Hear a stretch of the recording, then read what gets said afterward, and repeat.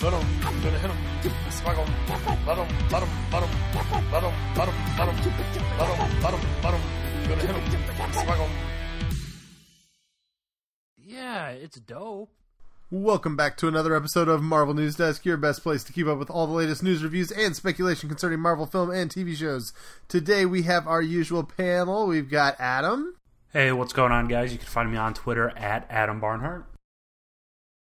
And we've got Rhiannon. Hey guys, you can find me on Twitter. I go under a pseudonym of Brooklyn Wallace, and my handle is at Shot Patron. And I'm Caleb. I'm at Caleb A. Borchers. Uh, we want to encourage you guys to subscribe to us on YouTube at Marvel News De- watch.marvelnewsdesk.com. Also, you can check out the second podcast in the Marvel News Desk family, which is AP Marvel. And this week, they're going to talk about something which I did not look up ahead of time, so it'll be a surprise, but it won't be a surprise by the time this podcast is released. I'm sure you can go find it and uh, and see. So, uh, yeah. Also, um, if you've been watching the YouTube channel, uh, we should have some more uh, content for our Patreon people next week for The Gifted, and then that'll hit a few days before The Gifted premieres on Fox. Um, also, uh, we've been loading up the podcast to YouTube if you prefer to watch slash listen that way. Uh, it's just an image and the audio file, pretty easy breezy. But uh, if you're one of those kind of people that likes that, that'd be great. So, um, Adam, man, you're in a new place. Are you enjoying the uh, the new digs? It's all right. It's uh, a lot better than that apartment living, that's for sure. I had totally meant to. Uh, if you can kind of see back there, can you pick that up? That's supposed to be a bookshelf that I'm going to like deck out with some of my first appearance comics and stuff. That's a nice little uh, backdrop for the pod. Uh, but I, like I told you, I totally forgot that we are podcasting tonight, so I didn't have time to do it. And you sound a little different. Like that room has some different acoustics and all. So Yeah, is it too echoey or something? I tried doing a, a test with the microphone and it was initially kind of bad, but I think I got it figured out. Yeah, I think I think it'll be fine. I mean, we'll see what the audio sounds like, but different rooms are different. Like the last two weeks, I recorded in my living room, and so it had a different sound than when I record in one of the other rooms in the house because they're smaller and you know you I, I have more and more of appreciation of like professional sound studios now that we do this podcast than ever because like it really does make a difference like i become much more of a sound snob as time has gone on It probably doesn't help that this house has not a single patch of carpet anywhere. yep Echo, echo, echo. Now I need to have sound panels and stuff. That's good. Actually, that's really interesting. So this room that's quieter that I record in um, has carpet, and the other room doesn't. So that makes sense. All right, for those four listeners that have not turned off the podcast already, let's jump into our news. Uh, this week we got a hint. Uh, Rhiannon, you'll have to remind me. Was it Netflix in the Philippines or Singapore or where was it? Thailand. Thailand. that uh, apparently accidentally posted that Daredevil is hitting on September 12th, and so no, October October 12th. October nineteenth. What? October nineteenth. Today's September twelfth. October nineteenth. All right, my bad. All right, so yes, Would you like to start over?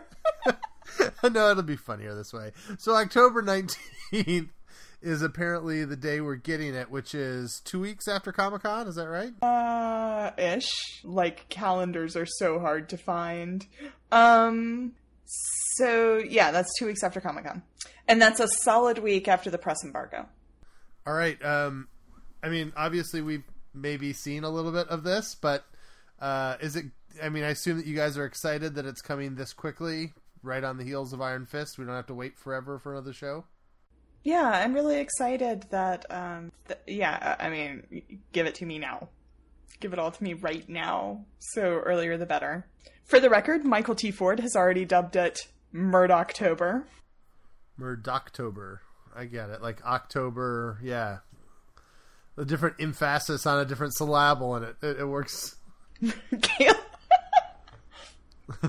you, you are sharp this evening, I- Caleb. I Murdoctober. I do love that we Yeah. I mean, I like that we're getting it.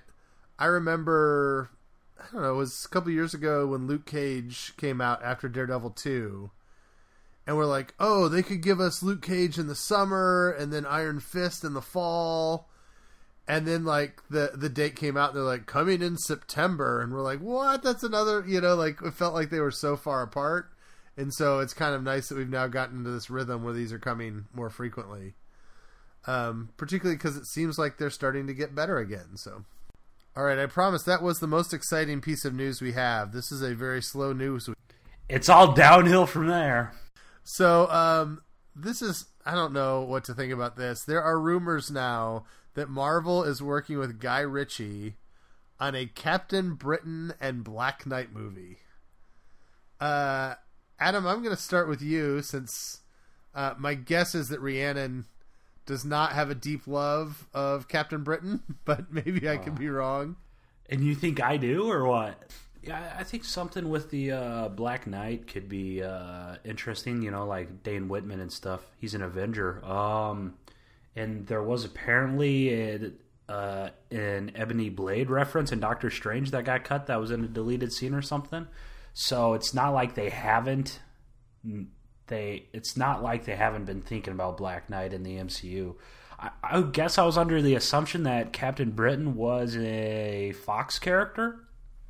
Um, so it does seem kind of odd that they would be thinking about this stuff now if they come with the same mindset that they're not thinking about any X Men or Fantastic Four stuff, if that makes sense. Because isn't Jamie Braddock? Uh, I think he's an X Men character, or he's related to an X Men. I don't know. Comic books, who knows? But yeah, I mean, Guy Ritchie. I I don't know. I don't even know who reported that. It wasn't that hashtag show, was it? It was a different site. No, it was like comic book rumors dot Twitter feed. Oh, okay, yeah. So it's probably not Um, news. but the, I mean, this rumor's been around a while. I mean, I remember two, three years ago when we were at MCU Exchange, there was this rumor that a Captain Britain script was circulating for a TV show. Um, but it being Fox would make so much more sense. If there's just a random crazy Marvel movie being filmed with no notice, it being a Fox property would make so much more sense that somebody, you know, some executive on the way out is like, yeah, yeah, and that's greenlit. Like, how about it, Guy Ritchie. Um, it, and if this does come together, I mean, our guy Michael T. Ford has the perfect fan casting for one uh, Captain Britain. I think a freshly available actor by the name of Henry Cavill. I think that's what he said. He tweeted me something. I can't remember. I think he said. Am I saying that right? It's Henry Cavill, right? I don't care enough about Superman. Yeah. Imagine Cavill as Captain Britain and Christian Bale as the Black Knight. So this is a little spoilery. This is a little spoiler even for me. So if you're a listener who does not want to hear this, go ahead. Uh, I think that you guys both know about this. Uh, recently, John Slattery was seen on set of Avengers 4. Um, this is the part where I can talk about a news story that I hate this week. The article I saw said John Slattery appears in Avengers 4 with spoiler. And I'm like, well, I think we know who he's going to appear with. It's not like, you know, the guy who played Howard Stark is going to show up and have a scene with Mantis, you know, or like, you know, a, I mean, maybe with Bucky, but it's probably with, you know, Tony Stark. There's not a whole lot of spoiler to me that's saved by that title. I was about to say, is Tony Stark being in Avengers 4 a spoiler? Because No, He they didn't want to tell you which Avenger he was me- he was talking to. But what Avenger would he be talking to? Well, I mean, it would be a spoiler if he was like talking to Black Widow or something. I guess so, yeah. Secret love scene between Nebula and Howard Yeah. Stark coming Yeah. to Avengers 4. That would be the real Caleb's spoiler. been reading some fanfic on Tumblr, apparently. Um do you guys like the idea of Tony getting one last chance to talk to dear old dad? I mean, he got it in uh, Civil War. I mean, this is barf stuff, right? Well, I mean, that's the thing is, I don't know if it's barf stuff or if it's time travel, right? Like we don't know. I guess they both will have a similar emotional resonance. Do you have any other thoughts there, Adam? Or No, no, I just wanted to say barf.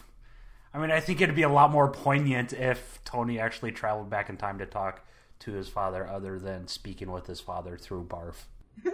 yeah, I guess that's interesting. Can barf like does barf have AI to try to like like when you're in barf? Can the characters say new things or say things that like would be anticip like?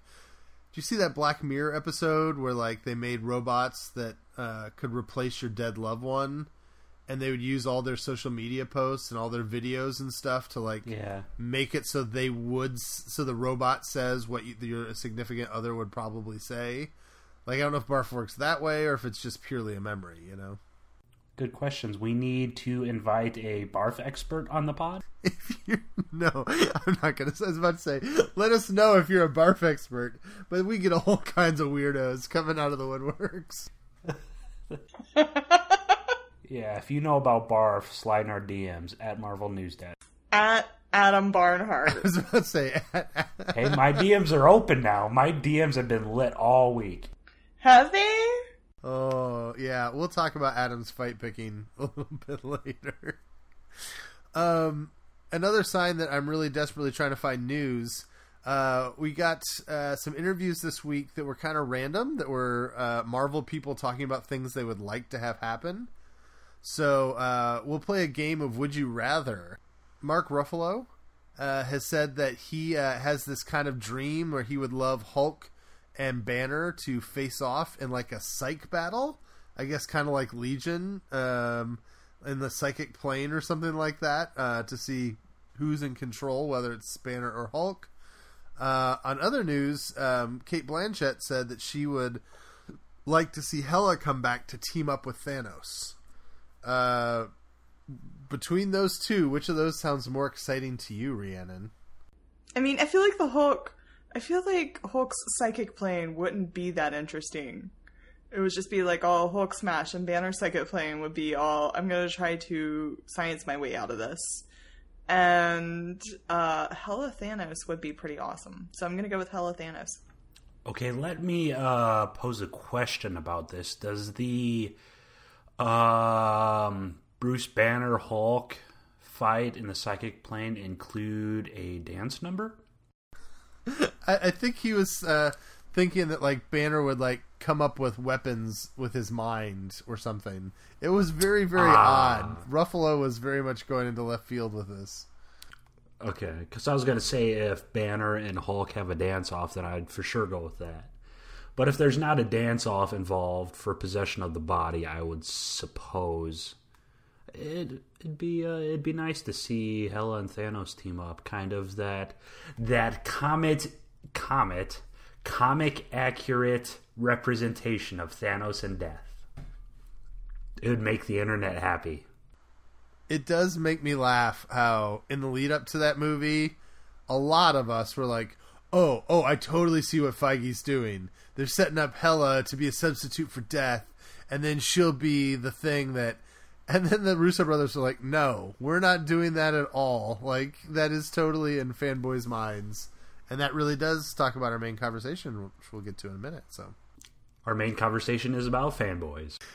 um, even more desperate for news, let's talk about Dark Phoenix reshoots. so, apparently, um, that girl from Game of Thrones that plays Jean Grey, who I can't remember her name, and um, the woman who's not Bryce Dallas Howard are uh, in a scene together. Who is what's her name? Jessica The- Chastain. Jessica Chastain. Yes. Uh, Chastain and Jean Grey were in a scene with mocap suits today. Uh, is Chastain going to be a Skrull? Is that what we heard? Sure. I can't remember. What was I mean? Wait, Dark Phoenix is shooting? I thought that was canceled.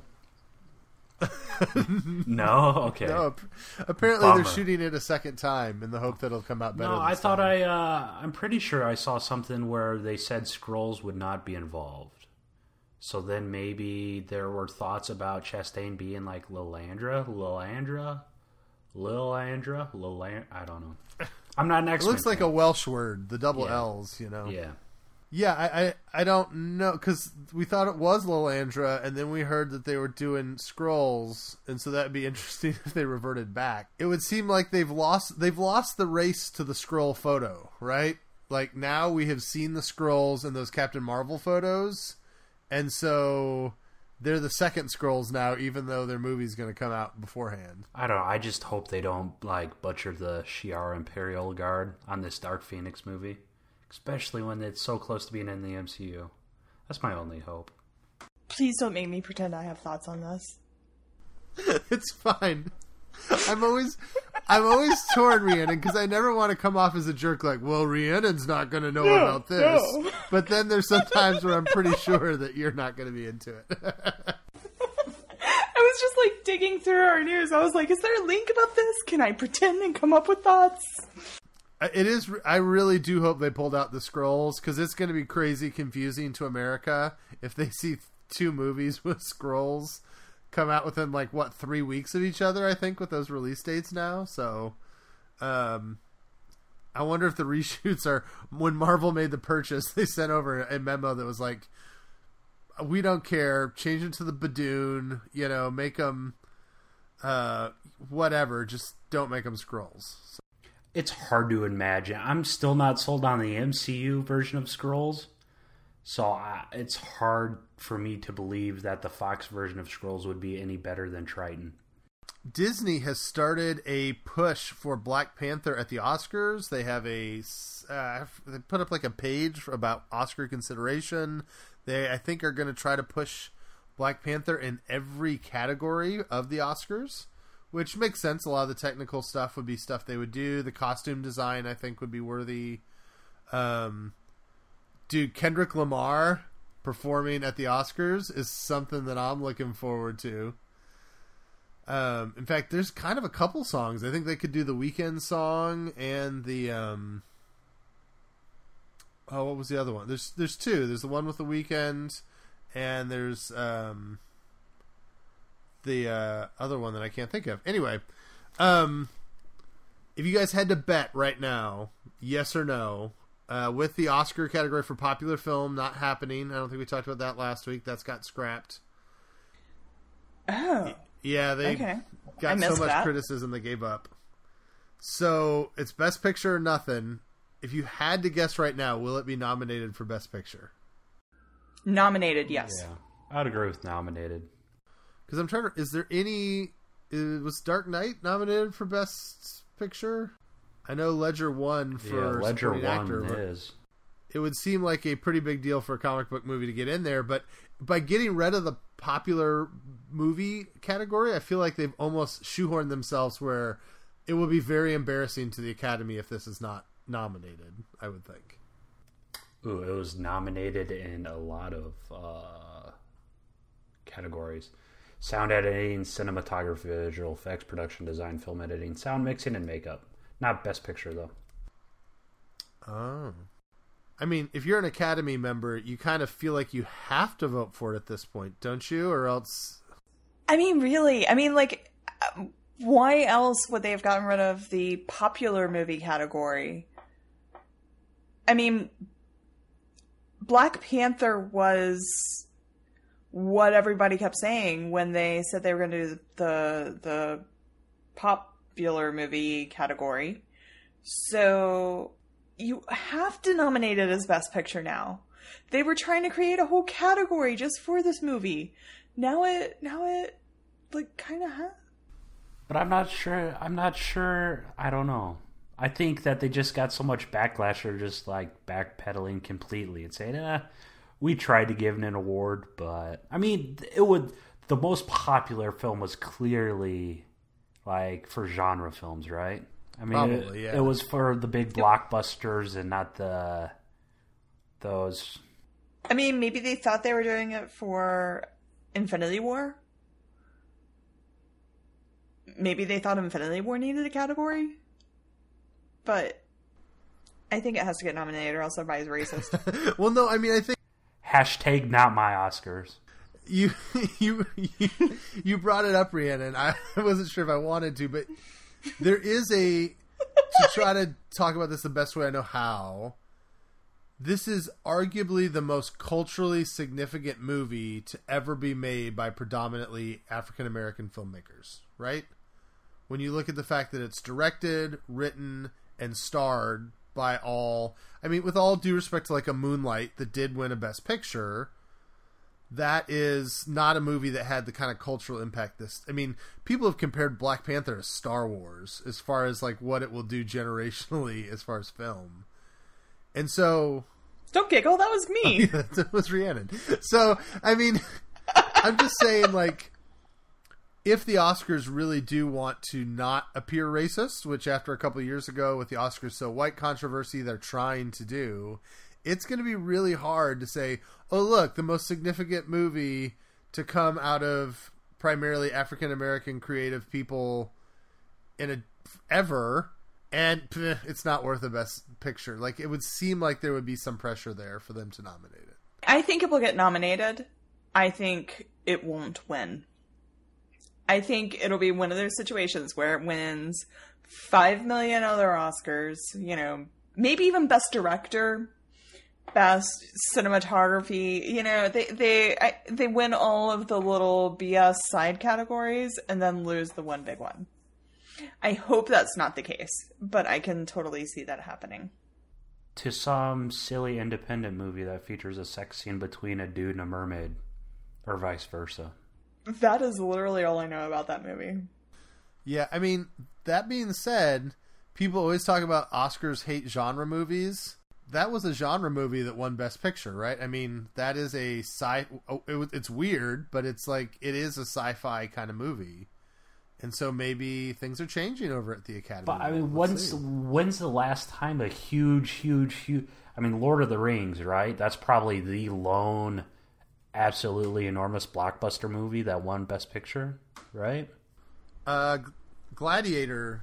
Gladiator comes to mind immediately. I think we went through this last week. Avatar, Titanic. Avatar did not win Best Picture. Oh, Avatar did not. We got uh, we got corrected on that last time. Wow. Thank you, whoever corrected us. That's what we get for not. I think it was Michael T. Ford, and it was we weren't even done recording the podcast. He's like, "No, guys, that's not right." You're right, Adam. Lord of the Rings: Return of the King was the last, I think, major box office.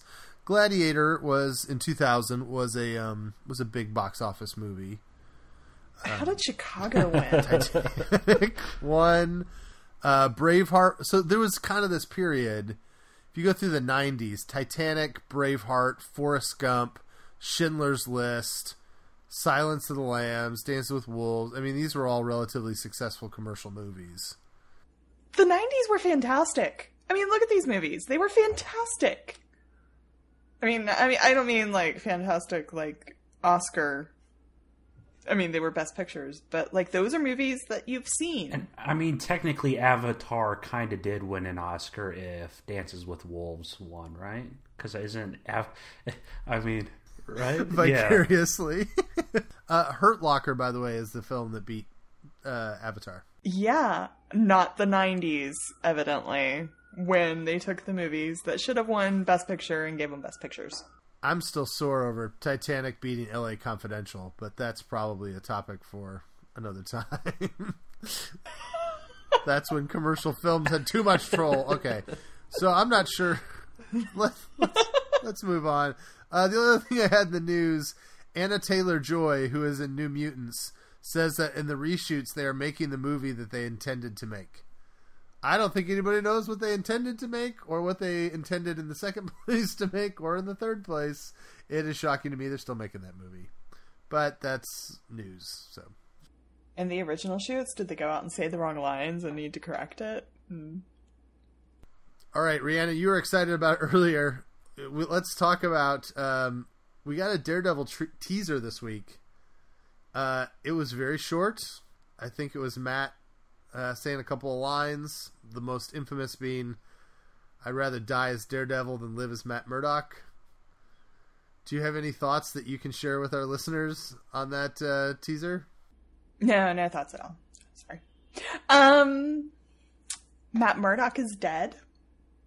We have the black. We're back to the black outfit, you guys.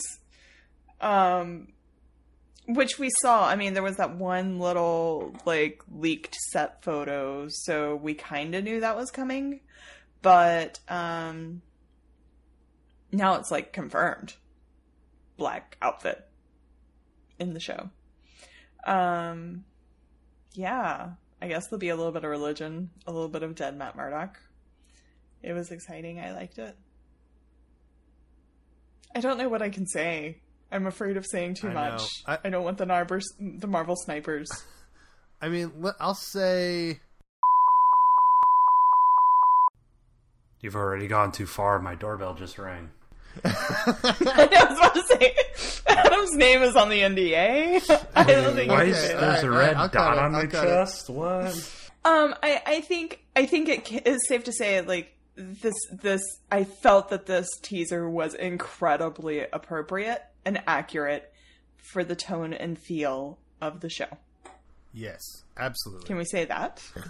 Yeah, and that dialogue line, I think that line, I'd rather, you know, I'd rather die as Daredevil than live as Matt Murdock. I think I may have said it wrong. Anyways, whatever. Whatever the line is, I was about to say how memorable it is. That's silly. But I think it is great writing and it totally sets up just a fascinating exploration path for them with Matt in the season. So, And along with it, they did some Bible verses uh, on Twitter. Uh, the Daredevil account responded to 12 fans with verses. Uh, Caleb, did that have any meaning for you? Uh, the only one I saw was the Job verse, and it was not particularly meaningful by itself, and so I'd have to look at the other verses. That would be interesting. There were some psalms. I mean, to me, they just like they they were good like responses. Like one person was so excited, and it was like you know, peace will come with patience, or you know, be patient or whatever. But there was some speculation. I've seen some fan theories since it's a slow news week that they were hinting with the 12 that it's the 12 apostles and that somebody will betray him and who in that case would be the Judas of Daredevil. Yeah, I mean, that's fascinating in as much as there's people have talked about Born Again here, and Born Again obviously kicks off with a major betrayal, right? Yeah. So that's it's an interesting theory, but I I've always been a little disappointed actually by the use of scripture by the Daredevil Twitter feed because they generally just find scriptures that have words in it that sound like Daredevil-y words and then they quote it and I'm like there's so many better things if put in the right context that could actually have deep meaning and I think the the writers of the show do a lot of good homework on their theology, but not so much the Twitter account. That's what I'll say. I was about to say, do you want me to put you in touch with some of the writers so that you can? Oh, uh, dude, if they want a religion consultant, uh, I will sign up any day for that job. I will pass the word. Now that the writers have revealed themselves on Twitter, I will pass the word. Yeah, Matt uh, Matt Murdock was so edgy in that teaser. I uh, accidentally mistook him for Batman for a second there. But outside of that, it does. So edgy. Hashtag sad boy Matt. Asked Charlie what his soundtrack was. Probably Red Jumpsuit Apparatus or something. I don't know what any of those words actually You guys are meant, Adam. cool okay, I was that's... like, you could just be Search it throwing up. out Search random it crap. It's like point. a, I have no uh, it's, idea. uh, about. Yeah, sure. No, it was like a no, it's like a middle school band. You know, when everyone did like their hair black and straight over an eye and wore skinny jeans and bought Hot Topic T-shirts. It's one of those kinds of bands. Edgy. Also, they probably watch Shadowhunters. All right, well let's let's talk about the Netflix show we can talk about. Let's talk about Iron Fist, uh, season two. We'll review uh, at this point the last four episodes. We've all seen them now, and we'll be full spoilers here. So if you've not finished that show, go ahead and do it um, before you listen to this. Uh, Adam, you are a very very happy man. I know you've been holding this inside. Go ahead. Very happy. So happy. I am very happy. I'm incredibly happy. That was, and fight me on this. Fight me. Go ahead and fight me on this. This was probably one of the strongest endings for a Marvel show on Netflix. Um, especially the last three episodes. Maybe The Punisher. Maybe Jessica Jones season one. Um, but pound for pound, I'd take Iron Fist season two, the last three episodes, over anything else we've seen on Netflix in the MCU. I mean, I just thought it ended solid as hell. I mean, I understand where where where people are coming from where the last episodes didn't really make any sense, especially the last scene in particular. Um but I mean, they embraced, they went full on. I mean, they stopped just shy of the Doctor Strange like hex shields, but they still kind of went balls to the wall when it came with to the the mysticism, and that's something that the show should have. So why they didn't introduce it earlier in the season? They kind of did with the initial ritual, but then their eyes started glowing and they started making weird noises. You know, that's that's the kind of stuff the show should need. You know, I love the ending. Um, episodes eight, nine, and ten are very, very good. Two thumbs up. Rhiannon, what did you think of um, their decision to let Colleen become the Iron Fist? Was that did you like that twist or not? I thought it was an interesting twist. I mean, I didn't see it coming. It changed things around. It um I mean, it was a roundabout way of sort of honoring all of those complaints. I mean, I, I have to give them, like, I joked at San Diego Comic Con that they l- listened to everything, all of the criticisms of Iron Fist season one. They listened to all of those except for those that were racially charged. Um, I have to take that back because evidently they did, or they may have. Um, they uh, and I I I liked it. I mean, I think Colleen. I think it makes the Colleen Misty thing, you know, a, a even cooler option. The two of them. Uh, it, it it makes more. It gives more of an argument for them to have their own show. It and it was just badass. Her fist turning white and lighting up her sword, and you know her going at it.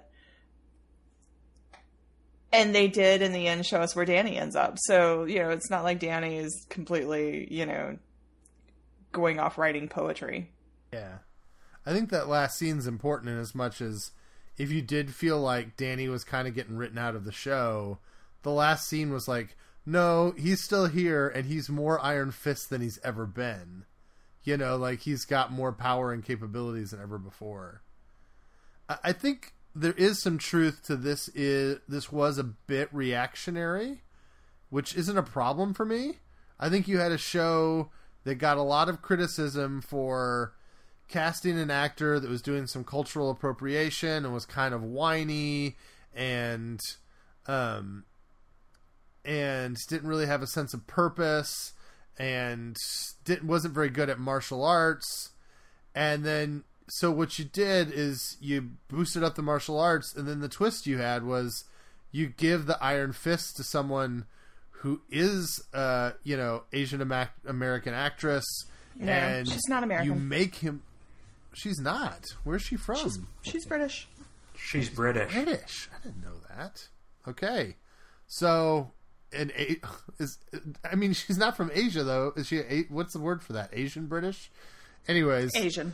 uh, an actor of Asian descent. Yes, and you put her in that role, and also you make Danny self-aware. That scene at the end of episode eight, where he said, "I'm out of control. I don't know what I'm doing. The fist messes me up." you can be trusted with this and I can't because I don't know why I fight. It was like, wow, that was all the criticisms that everybody's leveled in the words of Danny Rand. And that self awareness makes him so much more likable because he finally gets that he's kind of a spoiled little brat. And it was interesting to me that you had three people in about three episodes. Danny says it, and then Colleen later says, You don't know your purpose, you don't know what you're doing. And then Davos tells him, You don't have any purpose, Danny. And the idea that he's going to go off and like figure that out is so welcome to the character that he's going to be so much more enjoyable now that he has some self-awareness of what a lost little boy he is, you know. Right.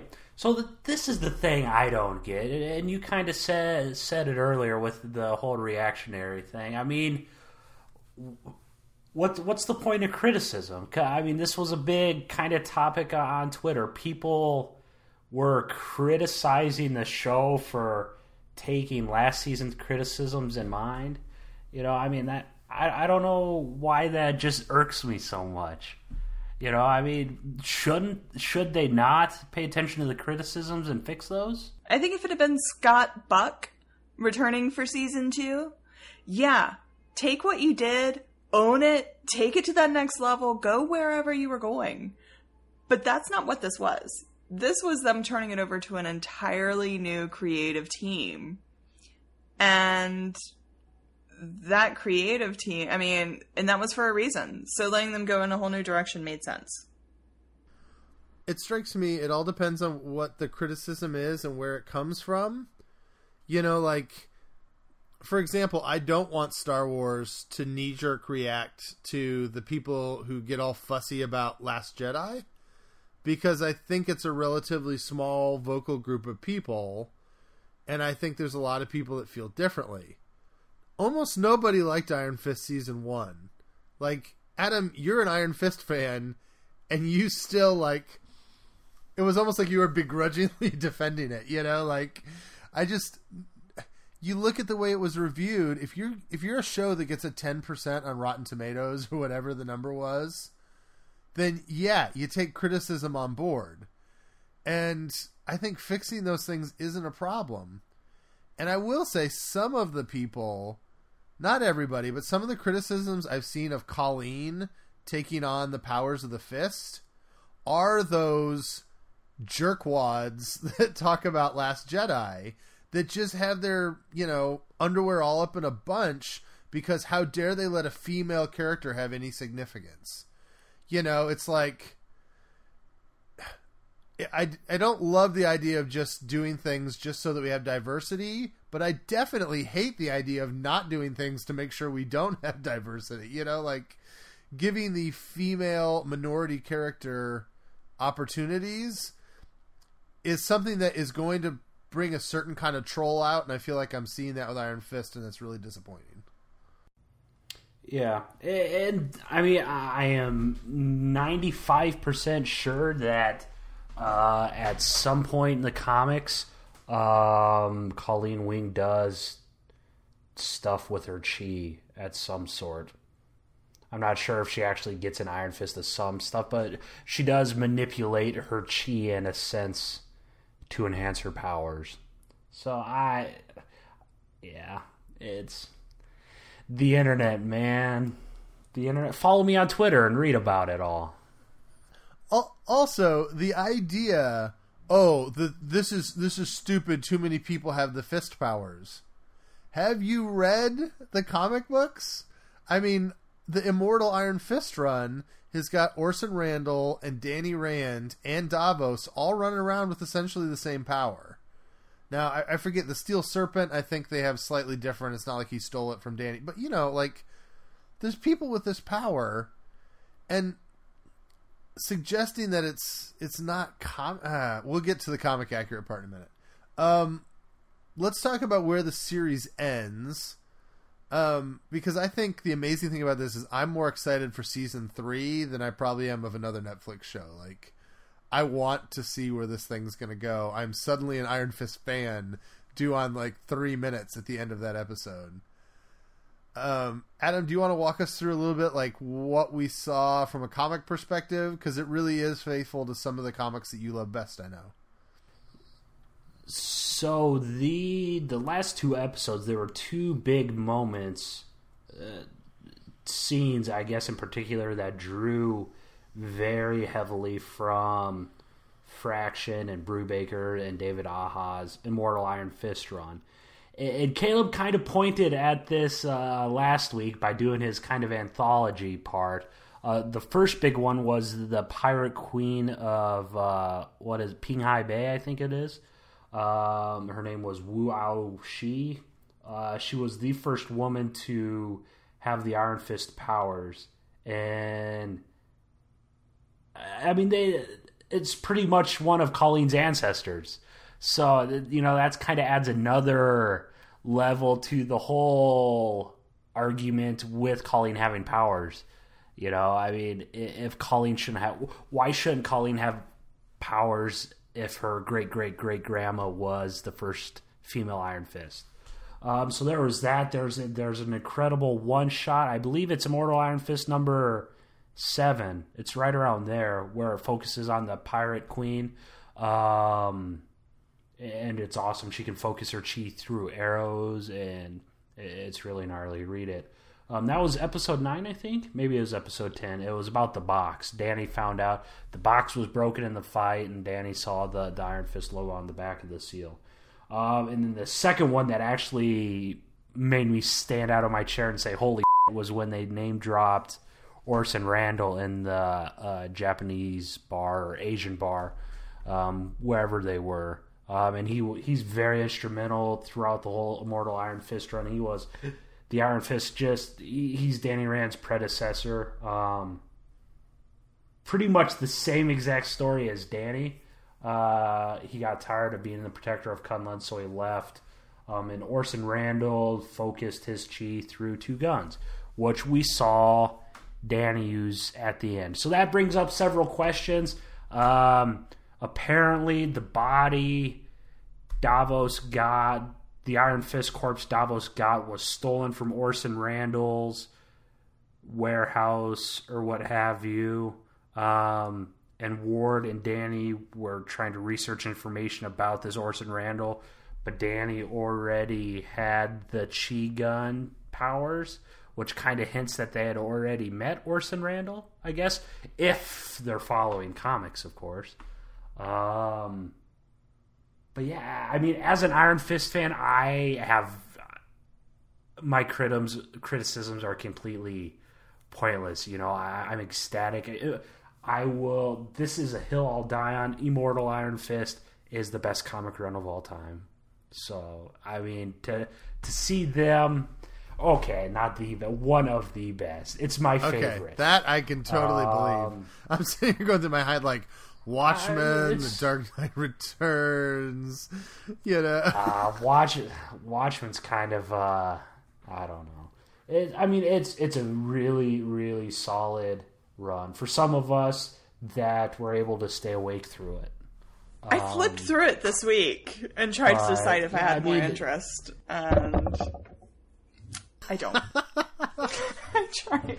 So I mean, it's taking two of that that uh, runs bigger moments. You know that that was huge, which made me more confused when I saw that there was an uproar over Iron Fist fans not liking the show. Rhiannon, do you have thoughts on those last couple minutes? What was that like as someone who's not as into the comic lore? Well, I have watched Wynonna Earp, which I imagine you guys haven't. But Wynonna Earp, she is er, she for reasons that are irrelevant to this podcast, she has a special gun and it turns yellow when she's about to fire it. And it looks a lot like Danny Rand. So I've been joking a lot about the Wynonna Earp crossovers. Um, been theorizing that all the blood on Matt Murdock in the or on Daredevil in the teaser is because he's a vampire now. And he has blood all over. Anyways, um, I liked it. It was exciting. It was surprising. I loved the Ward Danny. I mean, the idea of Ward and Danny going out and having this, you know,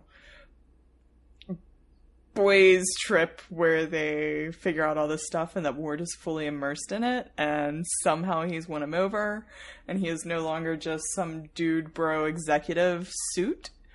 Um I liked where it ended. I was interested. I mean, I had to have it explained to me. It made no sense to me. I knew it was something that made Adam just like pee his pants, but I didn't know Yeah, why. sure. I mean, I almost had a heart attack. Not sure that's P.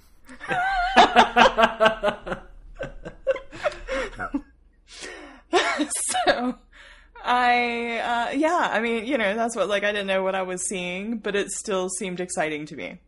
So, um, and, and it did, like, it did ease those, like, what now? Now that Colleen has the Iron Fist, like, is Danny seriously just gonna go to Tibet and write poetry? I was glad they gave us somewhere for him to go that had action and adventure. Let's let's talk about that quick. How perfect was is the Ward and Danny adventure?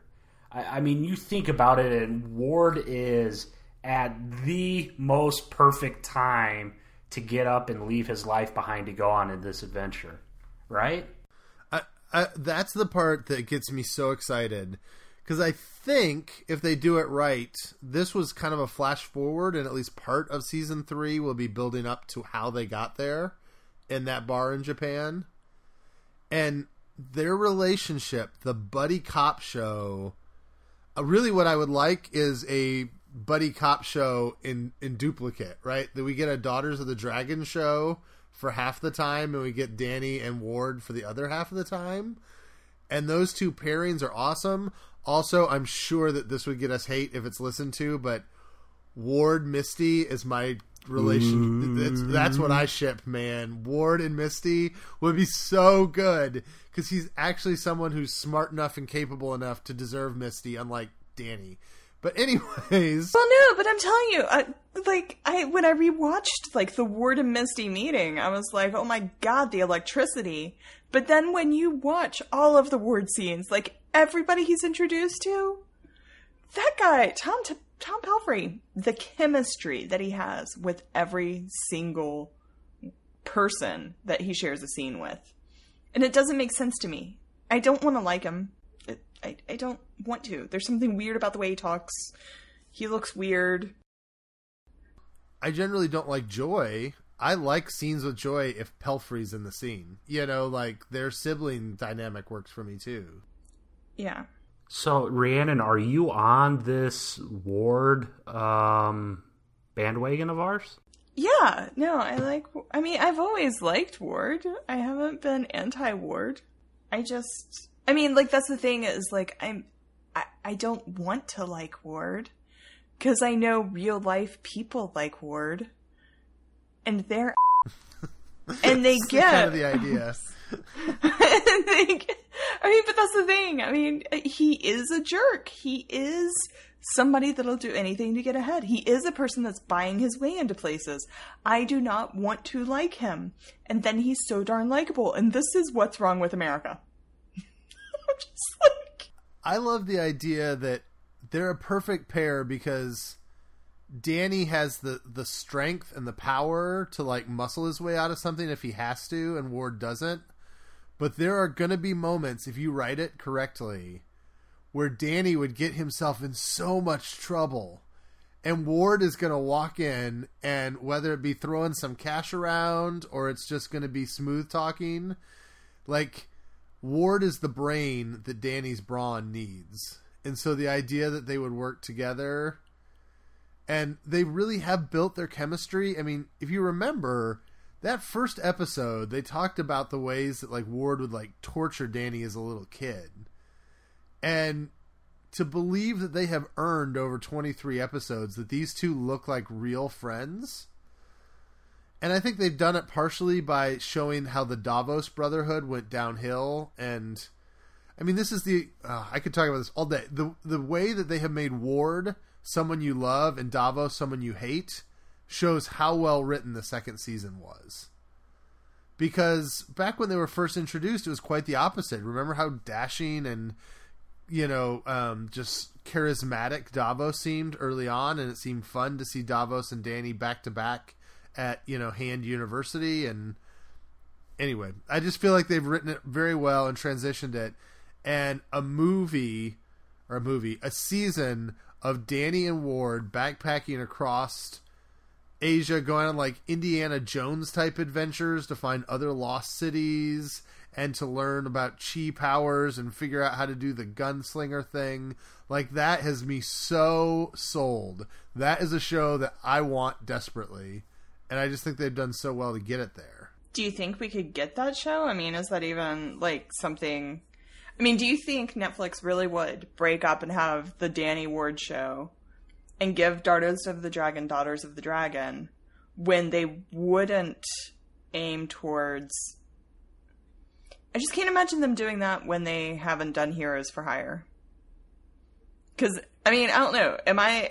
The, I feel like they completely are like, no, we are not doing Heroes for Hire. Like, Luke is over here, somewhat gangsta. Misty's worried about him. You know, Kingpin of Harlem and Danny is often wherever he is with his glow guns. Yeah, I I think it's possible that season three of Luke Cage is the Daughters of the Dragon show. The whole season will be Ooh. Misty and Colleen trying to take down. Luke. Okay, I, I'm I'm here for that. I think my biggest concern is the show that I want to see with Danny and Ward and the, you know, fist pistols and all that kind of stuff and them exploring all the like mysticism and everything. I, I'm concerned that Netflix will not give them enough budget for it. Like that's that's the real concern to me. The reason we haven't got Shou-Lao is because there's not enough money for it and I, I do worry that the show I want to see take place in Iron Fist season three, just they're not going to financially make possible. Do you have any of those concerns, Adam? I I'm not sure. Um, I mean, budget wise, Netflix has been you know shelling out major money um, to properties. So I don't know if if they think there's there's going to be you know a return on the investment. I don't see why they wouldn't give uh, Iron Fist the budget it needs to be. I mean, look at Lost in Space, which is a huge you know space opera. You know, um, I don't know. You know, it comes down to, to where they go. You know, if God, God help us if season three goes back to Chinatown gang wars. You know, I mean, I, I think they're heading in the right direction, and if um, it's on Twitter, stop trying to cause a revolt. You know, maybe they'll throw more money at season three. Um, yeah, I don't. I don't know. I guess I'm not worried. Um, I'm not sure what. I guess I don't know what the arrangement between Netflix and Marvel is. You know, Netflix does spend money on series, so I'm not sure if you know Marvel would be setting a cap and saying don't spend. I you know I don't know whose money's in play. I guess at this point I'm not worried. I mean, of course we have to get a season three first, and I would guess that's almost a for sure at this point it does seem to me, and this is just my guesswork, because you know this contract was put in place in what 2014 or something, the original Netflix Marvel contract. Um, I sometimes fear that, or even 2013, I, I fear sometimes that there's been an inflation of what Netflix will pay for new shows, but that they look at it and they because there's precedent of oh we made this show for x amount of dollars this time well then the next season should only be x plus 10% or whatever. You know what i'm saying? Like that they've almost like grandfathered them in at a lower budget number on these netflix shows because that's started so long ago. But maybe that's not right. It's just a fear that i have with those shows. Are you guys upset that the uh, transference of the dragon powers was through a magical bowl? I think that's actually part of it in the comic. I think in like one of the very earliest issues, Davos kind of performs a ceremony that's the same way. Oh, okay. So that's comic accurate. but also it's magic. Magic is not explainable by scientific principle, and if it is, it ceases to be magic. And so the idea that you get some weird arcane elements and you throw them in one place and it works, to me, that's the way magic always works. Like, um, you know, an old witch's brew, where you know you had like the old witch over, like cackling, like we'll put in a rabbit's foot and the blood of a virgin and this and this, you know, and then it makes a potion. That doesn't make any sense. Why should it work that you do a little bit of his blood and a little bit of tattoo brand and then put it in a thing and make green smoke and then tattoo artists and then all of a sudden the powers transfer by putting your finger on their head? I don't know. It's magic. Magic is supposed to be weird and mystical, so I'm cool with that. I don't know, but punching a dragon in the heart seemed pretty straightforward. Like just a very straightforward. You do this, you get the brand of the dragon where you touch him, boom, boom. Now you're the Iron Fist. Like some witches decide to brew up a whatever in a special magical pot. I, I, I don't know. This is why we disagreed on the uh, the resurrection. Look, there's lines. There's lines. last week. I was about to say, I was about to say it's one of those situations again with I will believe that there's a man with glowing fist that's punched a dragon and all this, but man, when you take it to the point that there's a magic bowl and it'll light up your, that's just where I draw the line. No. and I think I said last week, I am de- I've been deeply formed on this by the whole midichlorian force thing in Star Wars, where in the first trilogy people just had the force. And then in the tr- the prequels, they decided to explain that there's some microbiology thing called midichlorians that make people more capable of dealing with the force. It ruined it. It was good when you just had the force. No one knows why you have the force. You just have it. And then they had to go and do something dumb to explain it. And so since then, I have swore that I will always accept things on face value rather than run the risk of getting midichlorians again. So, but you did say something about comic accurate. Let's talk about that real quick. Uh, that's kind of our main discussion for today. Um, you know, there was been discussed this. I mean, where we kind of kicked off. You know, Adam has been getting in Twitter fights this week, and during my investigation of that deep rabbit hole, uh, I did see a tweet that said the show was stupid. It ended this way, the way it should have ended, and there was like a couple of panels of a comic book from the 1970s. And there is that criticism sometimes in these movies of, oh, you should have just did what the comic books did. Um, as you guys watch these Marvel properties, how important is it to you that you see something that is faithful to the comics, and what does that mean to you? I think when it comes to being faithful to the comics, it's about the characterization.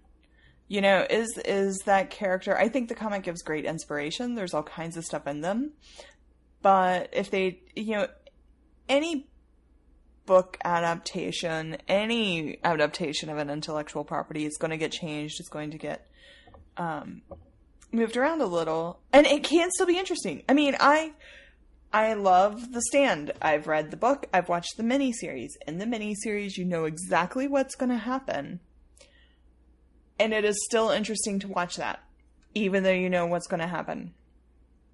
But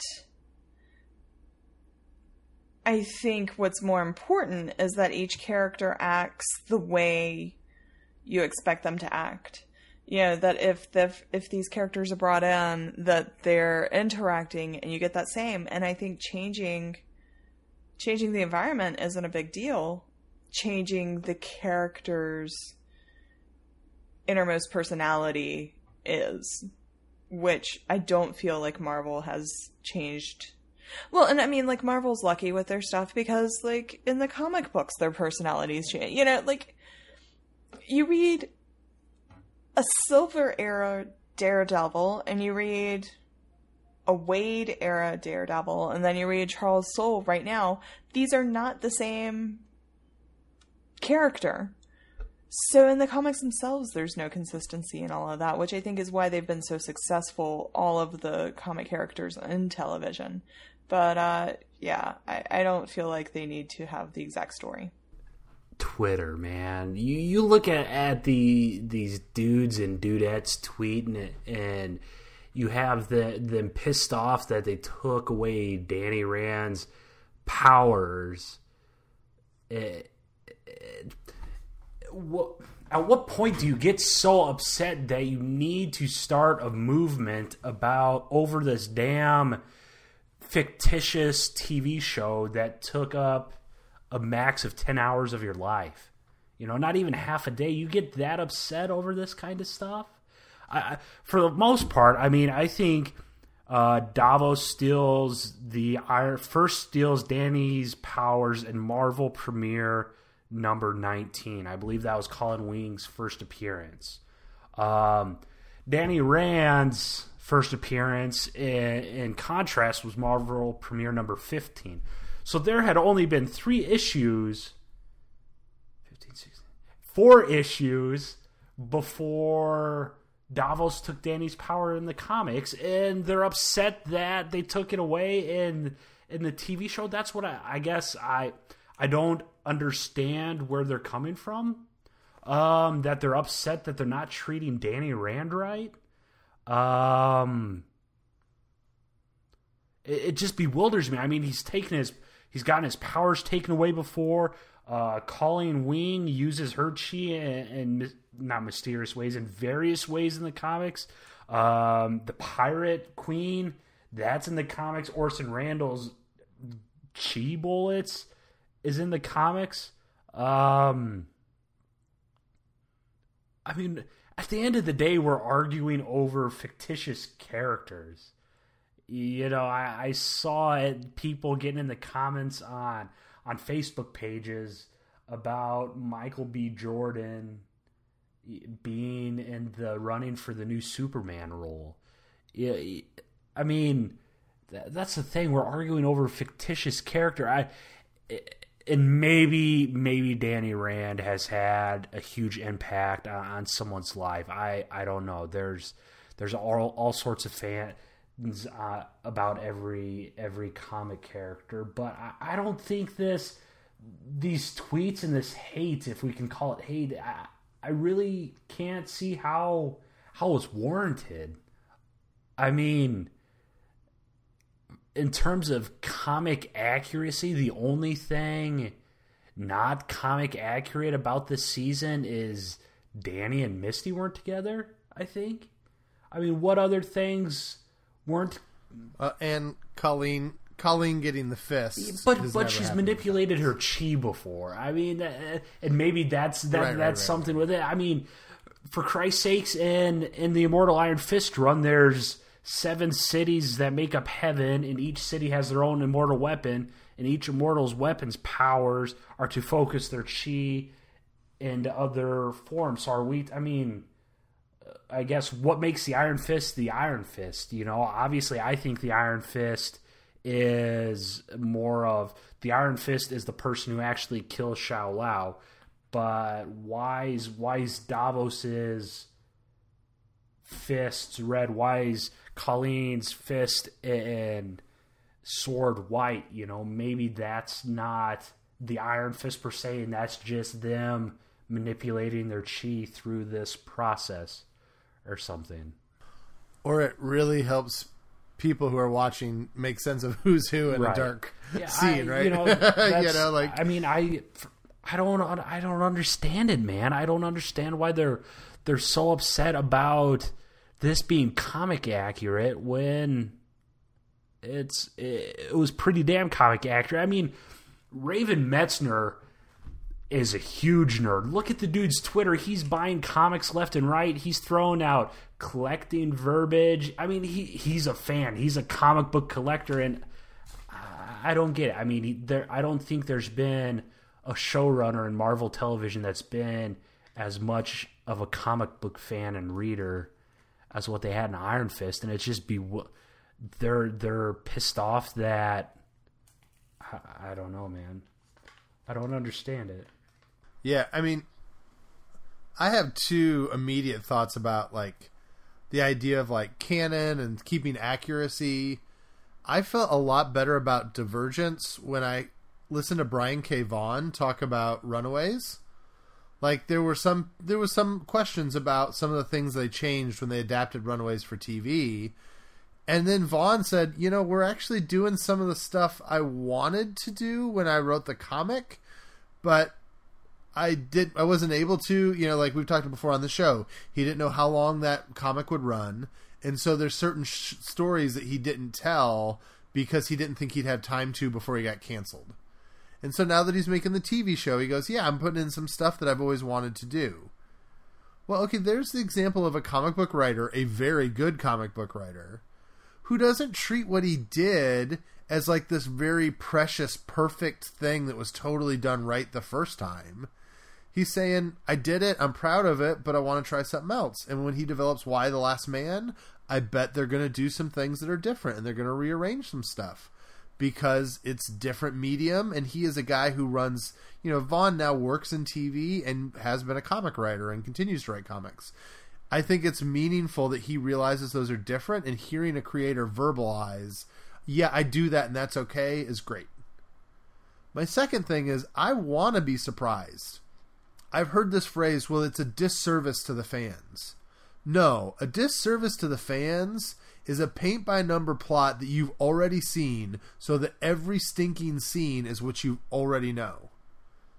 Like when I'm watching Infinity War, there's that moment where Thanos looks at Thor and he goes, You should have aimed for the head. And he snaps. And I audibly gasped, right? Like, I did not know if that moment was going to come or not because I know that Marvel doesn't always do what the comics do, and they're trying to be faithful. But I thought there'd be a snap, but maybe not. And in that moment, I had no idea if Thor would successfully kill Thanos or not.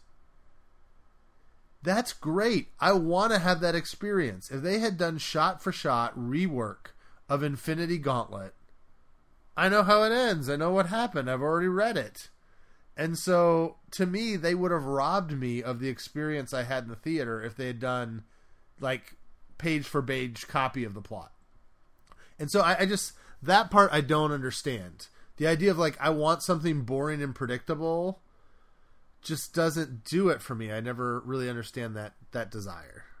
You pretty much said it. I'm trying to put my thoughts into words that aren't just all expletives and old grouchy man words. Well, so let's play. I mean, we can play devil's advocate for a minute. Is there a change though that you've ever seen in a Marvel show or TV movie or TV show that did make you irate?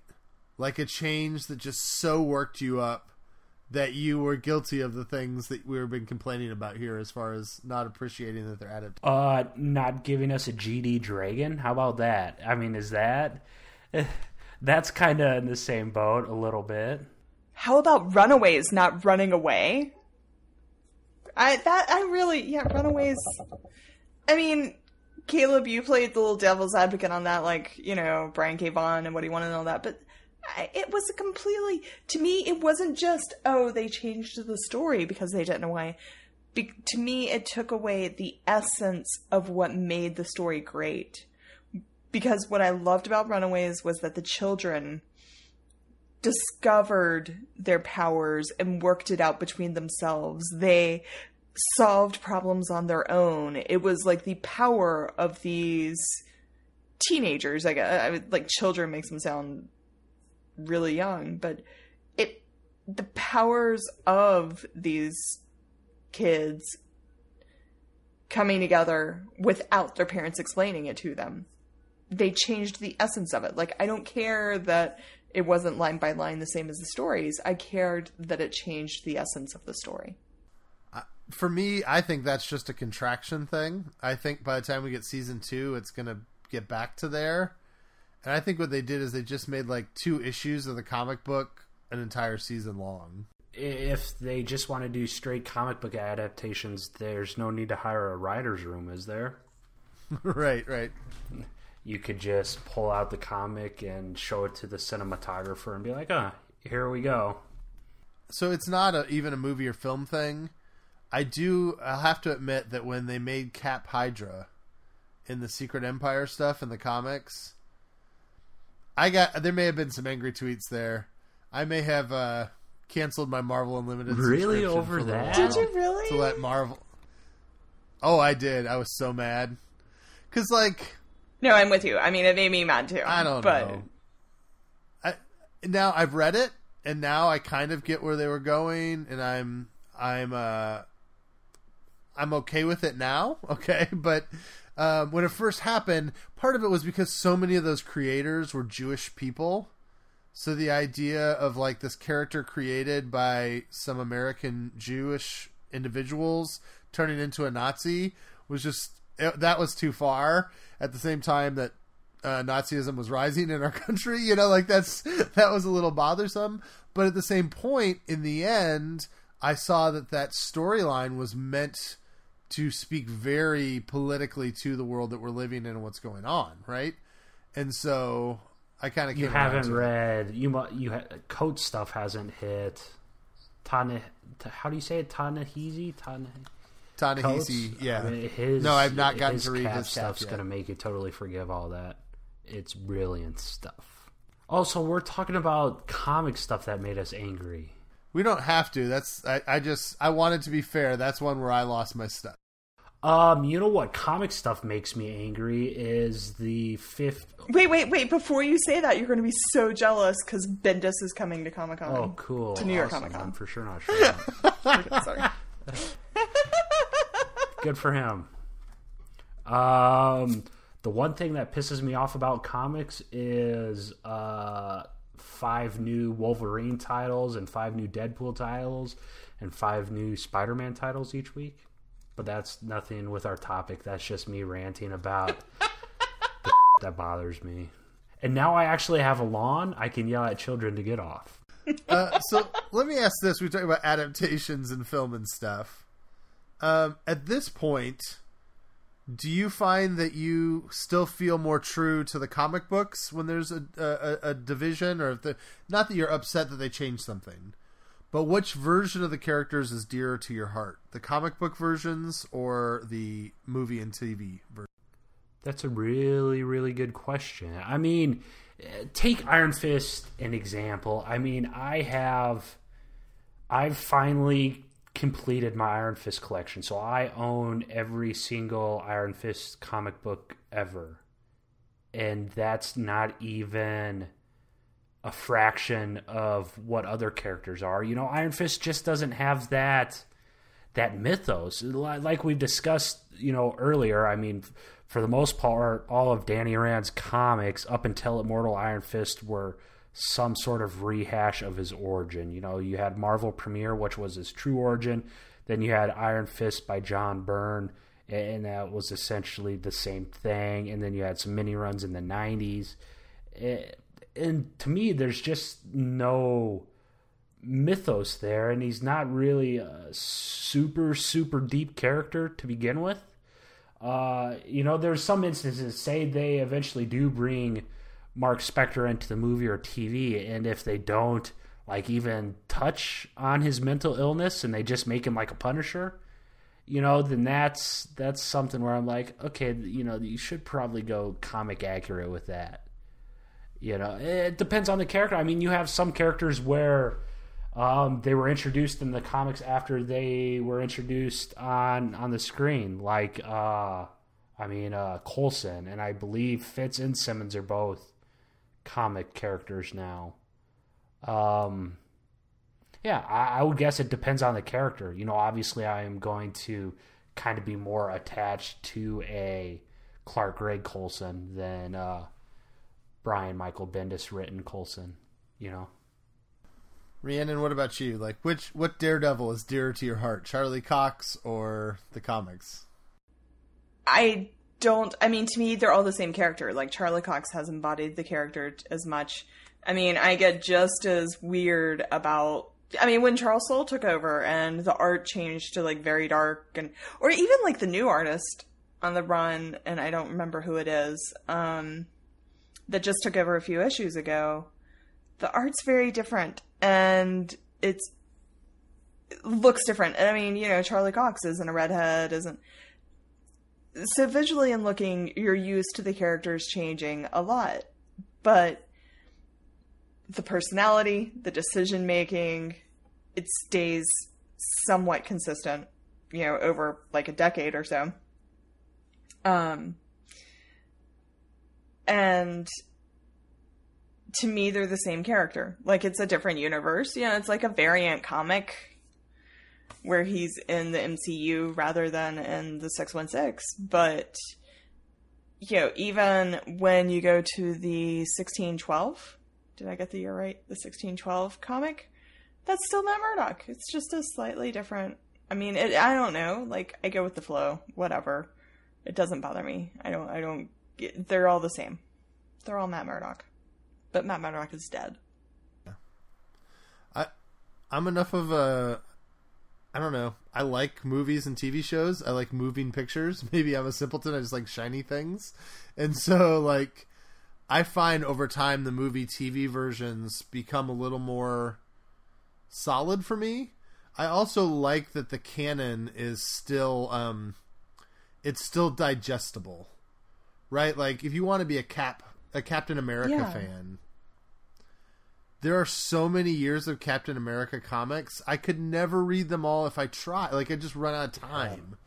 Whereas I I can see every single scene that has Cap in it in the MCU, and so I like that those characters are more digestible, and I also think the characters are more pointed and like firm. Like the Robert Downey Jr. Iron Man is a very specific thing.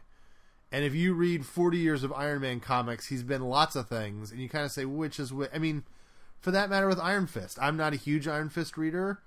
Um, you know, I read Immortal Iron Fist, and he's more of a taciturn, almost Batman-y kind of character. I feel like, and then I read um, uh, Power Man and Iron Fist, uh, that you know series where they were teamed up for a while, and he was like Spider Man, cracking jokes, and I really, it kind of bothered me. Like I'm like, which one of these characters is the character? I think I like both of them better than I like Finn Jones, Danny Rand, but at least Finn Jones, Danny Rand is a thing instead of being multiple things. And so I guess that's where I tend to like the TV and film a little bit better. So Well, now they're getting smart and they're actually drawing the characters after their live action counterparts. Hashtag marketing. I mean, they just introduced the Tessa Thompson Valkyrie, and I mean, they've drastically altered heroes' looks upon their movie release and such. And I mean, we could. This conversation could go forever. I mean, Guardians of the Galaxy is a great example. Guardians of the Galaxy is so different than any other iteration of it, the movie, and it's so much better, I think, than most any other iteration. I mean, I don't know. Maybe there's some some lovers of the you know 70s or 80s Guardians that would feel differently, but uh, you know, there's some times where I feel like the movies and screenwriters actually do something more interesting than what the comic books have done. And I think that's okay because comic books are supposed, you know, Rhiannon, you said this. They're supposed to be living, moving, changing entities. And the second that they get stale and stay in the same place, nobody's going to read them anymore. So, I am amazed at how comics reinvent themselves and go to new places, yet hold on to the essence of the characters.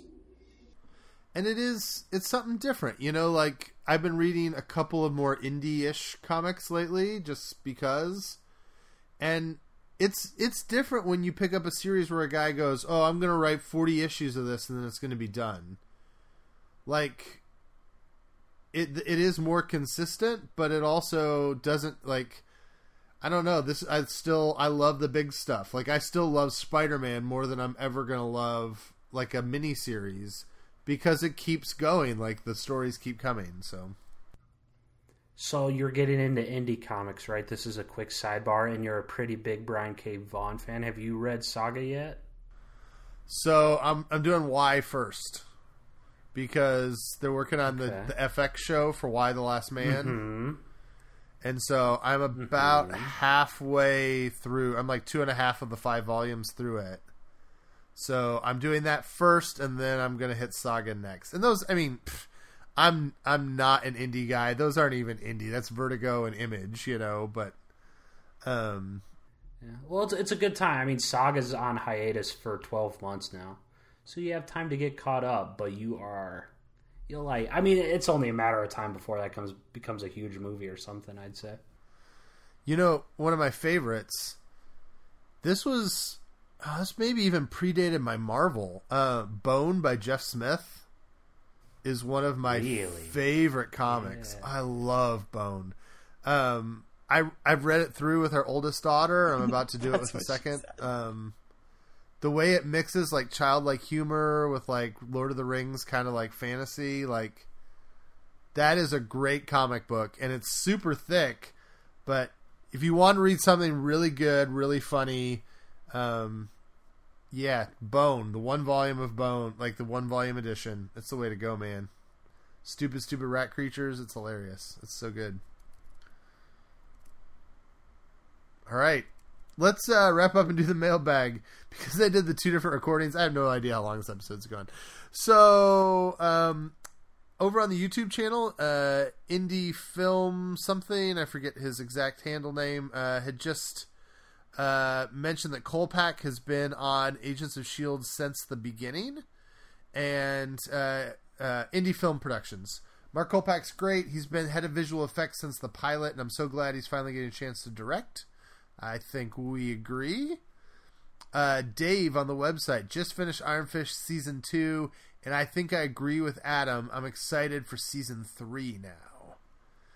Um, along those lines, Adam, we didn't talk about the major comic illusion. I don't know if it should be an Easter egg. The comic illusion that you caught that I feel like nobody's talking about on Iron Fist. Yeah, I don't know how anyone. It's the GD Baxter building. How are we not talking about this? That should have made headline news, and I haven't seen any site run for it. Uh, So technically, I think the Baxter building is technically located at 42 something else.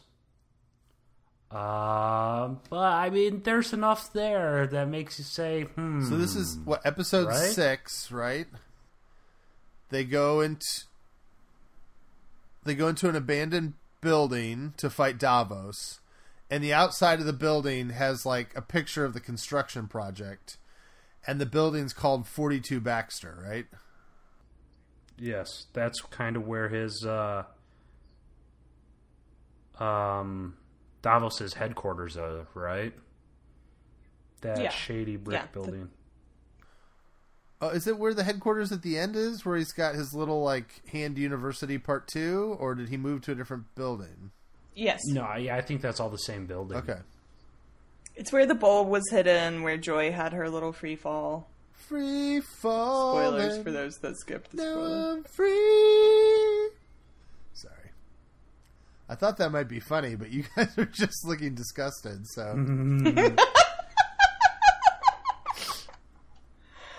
Rest in peace, Um, Tom. He's rolling in his grave. Uh, so, but anyways, yeah, 42 Baxter, which I would, to me, it's more just like a, a wink, wink, nod, nod to the comics, not a suggestion that that's the actual Baxter building. But Well, just like Sam Chung. I mean, there was a character named Sam, maybe last name Chung, but there was no blind spot in this series. So, lots of little winks and nudges. But at least with Sam, they kind of left that in a spot where something definitely could happen. I mean, he helped them out quite a bit, and he seemed like the one good guy in that group, you know? He stayed alive, and he's Asian. So, sure. Yeah, he didn't. Look, But we, I mean, we don't know his backstory or anything. yeah, he didn't look super. He didn't look very much like he's gonna be jumping off buildings. He seemed a little old. I think is the concern. And plus, I think he, he was only credited as Sam. At least the one episode I rewatched. That's good. Not my blind spot! Not my blind. I mean, the thing it, it reminds me a lot of we had heard that Black Panther was going to have a Tilda Johnson. That woman, the the girlfriend that Killmonger kills, is supposed to be Tilda Johnson. And I think that that was just trying to do a loving nod and wink to the comics. But it would be a total waste of that character, particularly since we got a much better and interest, more interesting situation with Tilda in Luke Cage season two. And so I would just continue to encourage Marvel: don't waste character names.